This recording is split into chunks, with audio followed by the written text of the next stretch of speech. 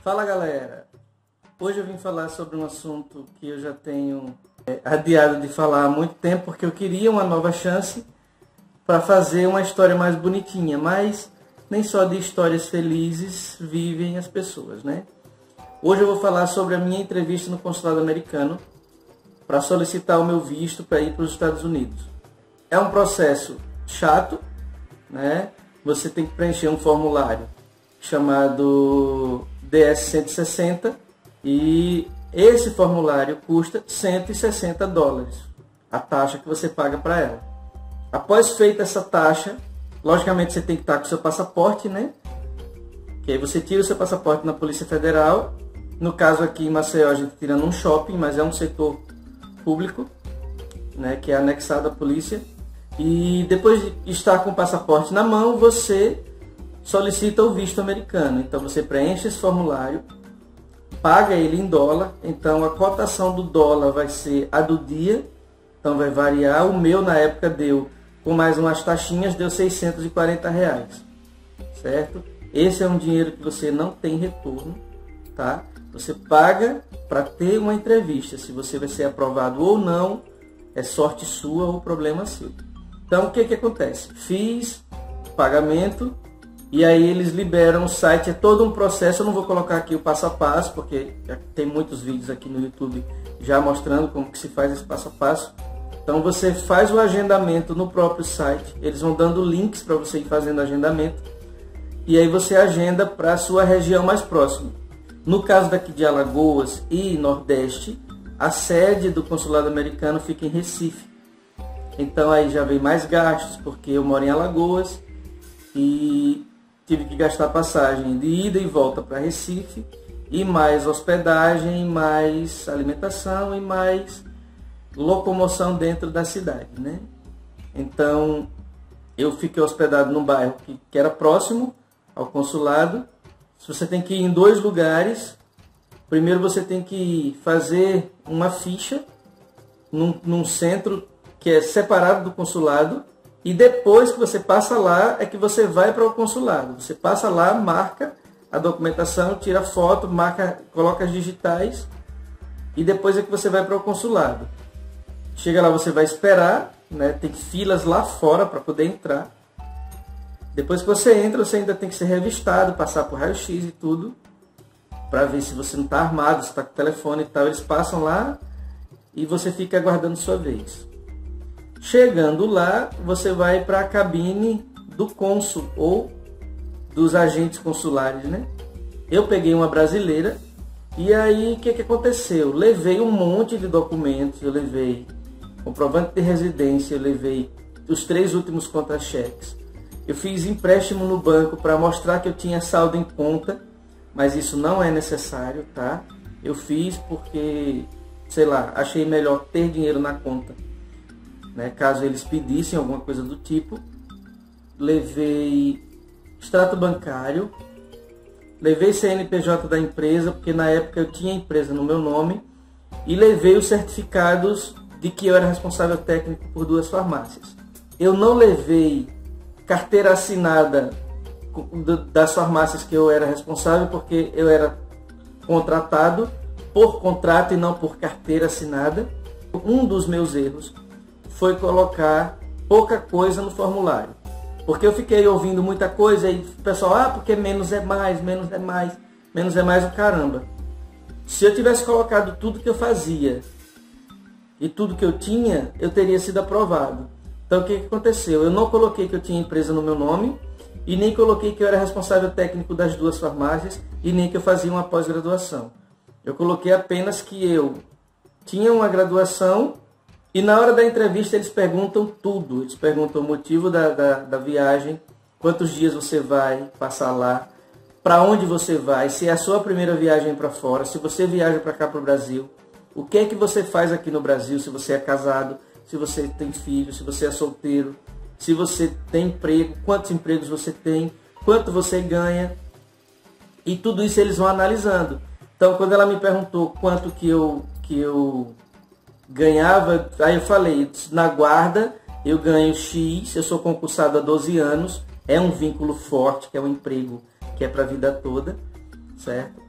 e sou responsável técnico por uma farmácia, mas eu não coloquei, não coloquei no formulário porque eu não tenho como comprovar em carteira.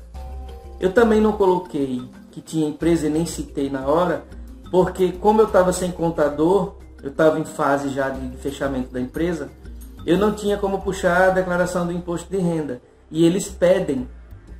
Para algumas pessoas sim, para outras não. Eu tive medo de pedir e não coloquei que tinha uma empresa no meu nome.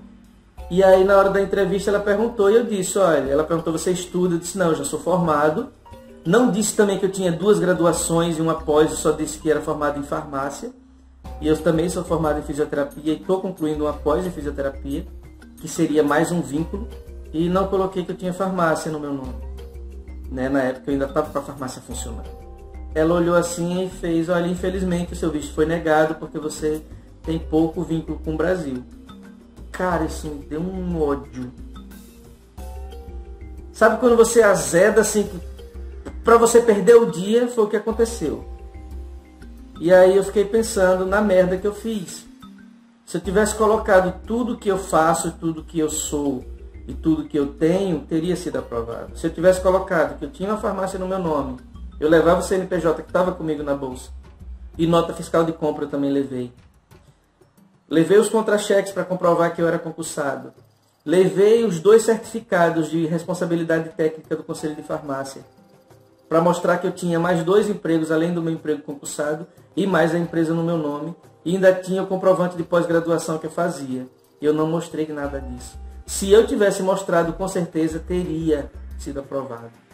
Né? Mas Marielle de primeira viagem, apesar de eu ter é, pesquisado muita coisa, ter visto muitos vídeos né, no YouTube, procurado dicas e tal, mesmo assim eu ainda cometi esses erros. Então a dica que eu dou é: coloca o formulário bem preenchido, coloca tudo que você faz, todos os vínculos que você tem. Não mente, não esconde nada, porque se tiver alguma coisa que não bate com o seu formulário e na hora da sua entrevista, se der algum erro, eles vão te reprovar na hora. E foi o que aconteceu comigo. Já um amigo meu, ele colocou o vínculo dele, um emprego, uma esposa e um filho. Foi aprovado, ele está lá nos Estados Unidos até hoje. Então assim, seja o mais honesto possível, né? Eu já aprendi isso a duras penas. Eu achei que colocando o mínimo possível eu seria aprovado, não foi, foi o contrário.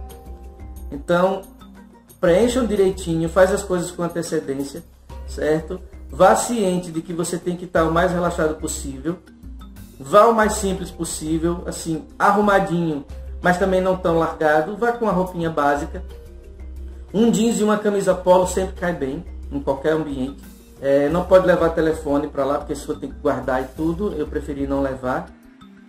E vá disposto a dizer a verdade, porque qualquer mentirinha que você soltar Qualquer coisa que for incoerente com o teu, é, teu formulário vai ser negado. Entendeu? Eu ia tentar novamente, porque já sabia no que ia dar, então era, teria que pagar a taxa de novo, porque como eu disse anteriormente, a taxa é não reembolsável. Você paga e vai ser para aquela entrevista. Não deu certo, vai fazer uma próxima, vai pagar de novo. E aí eu recebi uma proposta para ir para a Europa como lá não precisa de entrevista de visto antecipado, você faz na hora, então eu preferi ir para é, Portugal e depois eu fui para Inglaterra, certo? Em Portugal foi totalmente diferente. Eles perguntam lá na imigração, no próprio aeroporto, você vai, né? Você tem que estar com tudo na mão, porque eles vão pedir documentações para ver. Para mim não pediram nada. Tanto na entrevista do consulado americano eu estava com a pasta cheia de documentos eu nem abri a pasta. Eu só tirei o passaporte que estava na mão e entreguei. Não abri a pasta para nada. A mesma coisa aconteceu em Lisboa quando eu cheguei. O, o, o agente consular me perguntou é, para onde eu vinha, para onde eu ia, para onde de onde eu estava vindo, quantos dias que eu ia ficar no lugar, para onde que eu ia depois, o que, que eu faço no Brasil, é, quanto que eu tinha de dinheiro na carteira, certo? E eu tive que dizer tudo isso. Levei seguro também, estava na carteira, seguro viagem, passaporte, contra-cheque, extrato bancário, é, comprovante de gozo de férias do meu trabalho. Um comprovante de matrícula que eu tinha me matriculado numa nova universidade aqui, numa nova graduação, eu levei também, certo? Então eu fui todo paramentado e fui aprovado na hora. Assim que eu cheguei em Lisboa, eu não demorei dois minutos na entrevista e fui aprovado. A mesma coisa quando eu cheguei na Inglaterra, eu cheguei no Manchester Airport. Quando eu cheguei lá, demorei muito para chegar na minha vez, mas quando cheguei a moça só fez duas perguntas. Qual o motivo da viagem? Quantos dias vai passar? Entreguei o passaporte, entreguei um formulário que você preenche com os dados de onde você vai ficar, né? Se você tiver carta convite ou reserva de hotel, né? Você tem que apresentar, colocar endereço, telefone, tudo. No meu caso eu tinha uma carta convite, tinha número de passaporte, assinado tudo bonitinho. Não pediram, mas aí eu coloquei o contato da pessoa, né? E só foram duas perguntas. Bem-vindo à Inglaterra e eu entrei na Inglaterra. Então eu entrei e saí dentro do prazo de oito dias Lisboa também, eu tinha um visto de três meses para Lisboa, passei um mês, e tinha um visto de seis meses para a Inglaterra e só passei oito dias. Então isso conta também para uma próxima entrevista que eu for fazer, né, que ele ver que eu fui um viajante internacional, que entrei no país e saí dentro do prazo, então isso conta um ponto positivo para o seu, a sua apresentação, né? Então é isso, gente. O vídeo ficou longo, mas é um assunto que eu estava né, já pensando em fazer há muito tempo. E agora eu estou compartilhando com vocês. Se gostou, dá um joinha, se inscreve aqui no canal. Se tiver alguma pergunta que quiser fazer e eu puder te responder, eu farei com o maior prazer. Estou aqui para compartilhar e aprender com vocês, ok? Um beijo grande e até a próxima.